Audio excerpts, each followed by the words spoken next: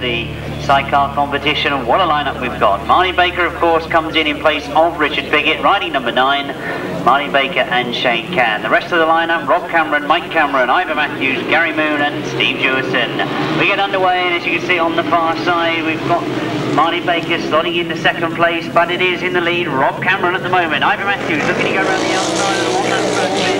Gary Moon drops in behind Ivor Matthews and follows him around that top end. It is Rob Cameron and Lead at the moment.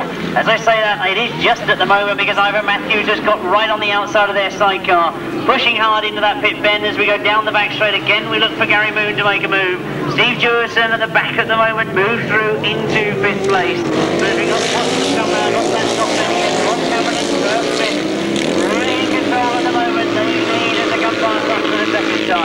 Ivor Matthews right up there trying the inside line this time. Gary Moon now under pressure from Steve Dewison. And Dewison starts to move through on the inside of Gary Moon. Those two together in third place as you go into the top bend for the third time. We look for Rob Cameron again to come past us, leading this field and a very competitive field it is. All outfits still together at the front. Any one of those four could take this first heat of the sidecars. Ivor Matthews again tries to go around the outside on that pit bend. And this time he's up the back straight and he's got the edge going into that top corner. He'll try and cut back across the racing line, but he's not enough room. Driving hard out of that top end and Rob Cameron's going to get it on the line, I don't know. Well, that was close to the line. We'll look for our line judges on that one because the front wheels were together as they come across the line. A great effort from Ivor Matthews on a tremendous way to start the sidecar competition.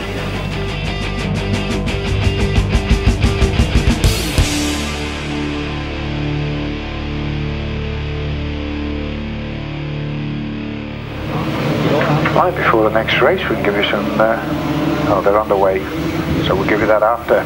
Right, we move on to uh, race number 14, and uh, according to my also shown in the program.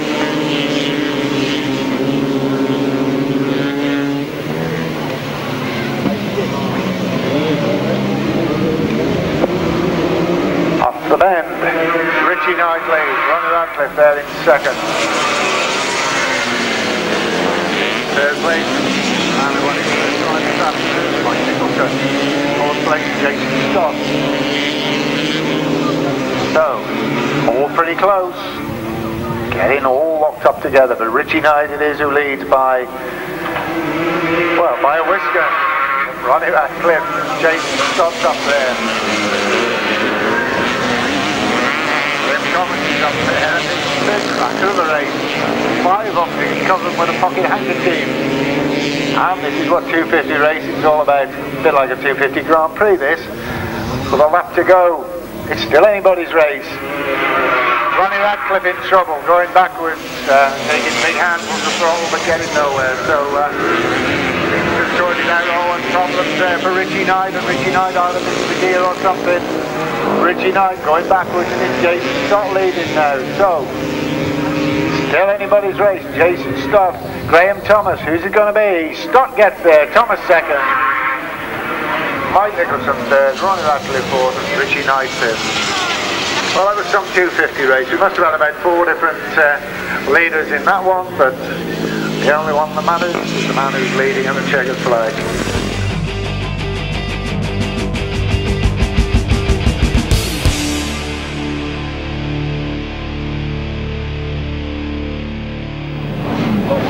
29 then, the change to the programme that we've been with all afternoon is that Steve Smith comes in in place of Ken Hicks, and it is indeed Steve Smith that's made the break. Phil Pitman has made another good start this afternoon against himself in second place going in that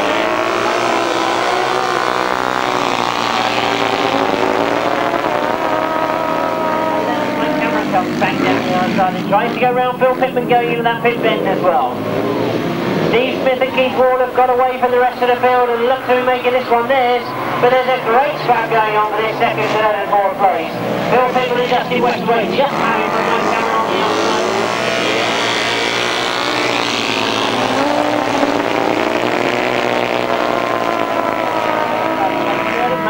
Second as well. A brilliant back straight from Mike Cameron and Steve Smith. They come very, very wide on this bottom bend and allow Phil Pepper to go back underneath them. So a good ride this from Phil Pepper, the youngster from Cornwall, riding exactly well on the very,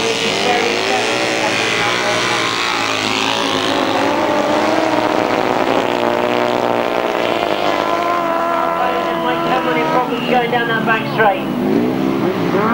So as we look to see them come round, as I'm sure you can imagine, you can see there is a red flag.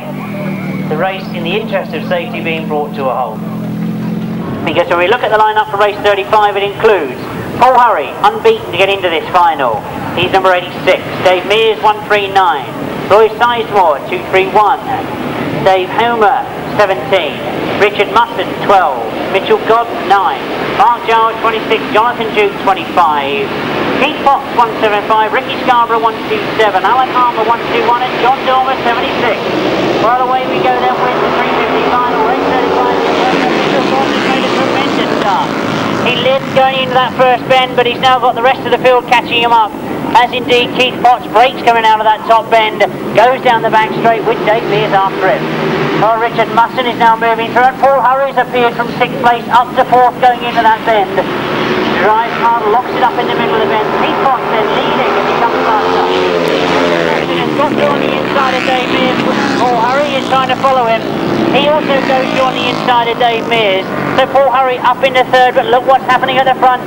Richard Musson goes after Keith Potts, leading. Of course, Keith Potts so successful in this part of the country on a 350. He knows he's got a fight on his hands today, and it's Richard Musson. As Richard Musson goes very, very wide, almost touches the board. And Paul Hurry is loading up on them as well. Oh, Richard Musson looks for an outside line this time. He's gone very, very wide on that top bend. He connects with the boards once again. That slowed him up. It means that Paul Hurry is now going to take up the challenge and he closes right up on Keith Potts. Keith Potts almost gets it wrong. Well, Paul Hurry closes up as they go into the last lap. Drives hard. He's done a lot of work on this circuit, Keith Potts. He'd love to win this one against such strong competition, but Paul Hurry has got different ideas. And there goes Hurry through on the inside.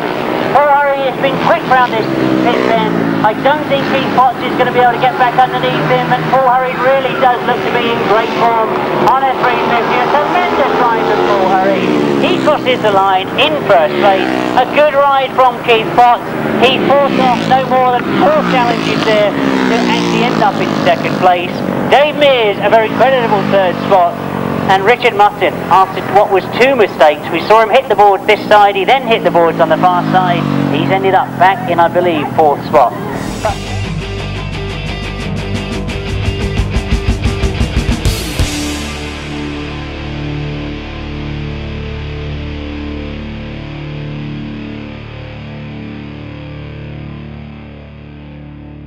It's uh, something that is, of course, in any racing person's head that you want to go out on a winning note.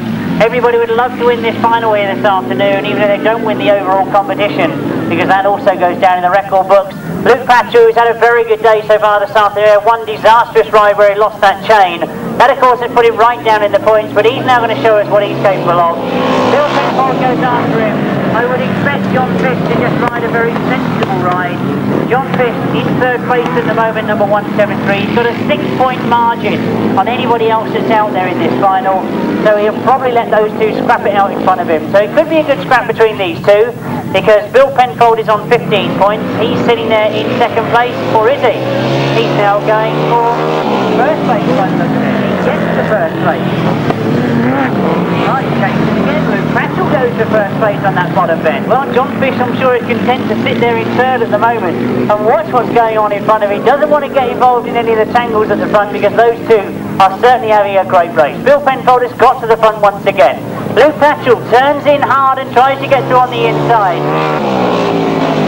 Oh, John Fish still looking over his shoulder. He knows there's other riders going to be closing on him. Well, Luke Pachol this time goes through on the pit fence. So, the top corner proves to be Bill Penfold and the bottom corner proves to be Luke Pachol. It's going to be interesting to see what happens. Well, it does look to me as if John Fish may have problems. I keep saying that he's got a six-point margin, so he's probably mathematically working it out. I wonder if he has realised that a six-match final, But. There's still a good scrap going on between Luke Packer and Luke has gone right up against the ropes. Well, Bill Penfold, I think, got a problem coming in the pit bend. He's now got himself back to the front, but with all those problems that Luke had on the far side, it's now been that number 188, Terry Pachol, gets involved. Tommy Penfold has now come through. We're all strictly trying to work out the points here because uh, if you can see there is obviously some sort of problem for John Fish. But if we quickly add the points up, we've got one, two, three, four, five, sixth place now. The checkered flag will go for Bill Penfold. He takes the final from Luke Pachol. Number 188 takes third place Terry Pachol, fourth place is Tommy Penfold, fifth place is Philip Davis, and sixth place number 173 John Fish. Outfit number six is Russell Ing and Andy Ing. Andy stepping in today in place of the injured Paul Urich. They're in the very distinctive mauve and pink leathers. As they get underway from that start line on the far side, it's Russell Ing that's made a good start. Roger Measor coming through on the inside and goes into that first corner in first place. Ivor Matthews is right up there now with Russell Ing. Rustling drives in hard underneath Roger Measor. Ivor Matthews has gone incredibly tight the front. I can see that Neville Penfold has moved through into fourth place, but Russell now challenging for the first place. Well, he's just letting Roger Measor know that he's there, and Roger responds straight away and pulls away from him.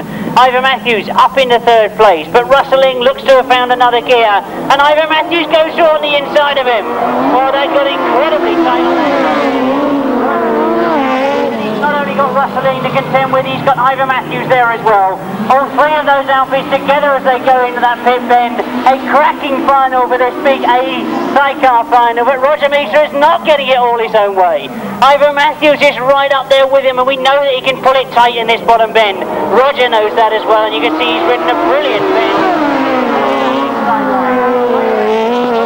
Russell Ing still hasn't given up. He's still right there in contention, tries to get that second place back again, but Roger Measor has fought them off. What's going to happen on this last bend? Ivor Matthews, we know, has been brilliant on this top bend this afternoon. We'll be looking for a way through. He'll let Roger know that he's there, and then he'll drive through on the inside, and is he going to do it? He's looking for that inside. brilliant final. Well, an absolutely tremendous 1000cc sidecar race. What a way for the sidecar competition to finish.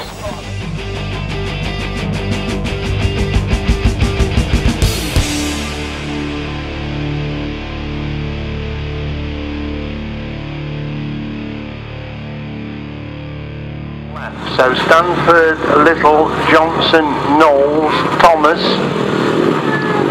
Harris, Atkins and Brooks. That's then right then for the 250 British Championship final. All rolling at the start, away they go and Henry Atkins has made a good sign. Graham Thomas has gone with him. Who's going to get the corner first? It's Henry Atkins who gets the corner first and Luke Harris is in the opposite going up the back straight for the Forest Thomas. A bite between these two as Atkins leads then but Harris in second. Atkins right in mid-track. Harris trying to wind it on to go right round the outside. Now he cuts it back for the inside. Atkins has gone wide as Harris gone through on the inside. Atkins just further by Van Harrison. Into lead from Brooks in third place. Thomas is in four. As Atkins but Harris in second. Brooks in third. Thomas is in four. As they go up the back straight once again, just a bite between first and second. And Harris again full throttle around the outside of that top corner. Atkins right in mid-track. Harris trying to come right round the outside, but Atkins rides him over at the moment. There's a bite between them now. They lap number two. It's Atkins who still leads but Harris in second place. Harris again totally getting into the outside. Atkins locks up and Harris has gone round the outside. Can Atkins get back at the inside? A bite between them again, but this time it's Harris leads them. But holding that second place position. Brooks is not finished within third place. They're moving on to four this time. It's Luke Harris who leads by a bite there in second. Harris in mid-front. Atkins to come right round the outside. Absolutely looking at Atkins back round the outside. Harris to retake the lead.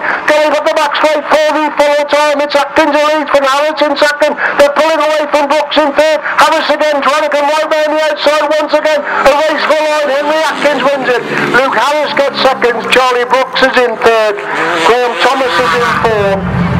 Johnson is in five, Knowles in six, Little in seven, Stanford in eight. What a brilliant, brilliant final that was. It looked Luke Harris had just got it when Henry Atkins locked up upon that pits corner. Harris saw his chance, went back round the outside, but Atkins was fourth and finished, and he came back and Harris and got back round here up on that top corner. That was superb grass track racing from those two youngsters, and Charlie Brooks was only a couple of bikes behind. So show your appreciation. That was an absolutely brilliant 250 final by two of the youngsters of the sport. That was brilliant high speed racing of superb quality. Charlie Brooks leads them round, followed round there by Luke Harris. Henry Atkins defends his title again after a brilliant unbeaten display. Graham Thomas, good performance by Graham. David Knowles comes round, so show your appreciation. Drama before the start of the 350s. Tom Ferry is the last to settle for this 350 solo final. Starter moves away.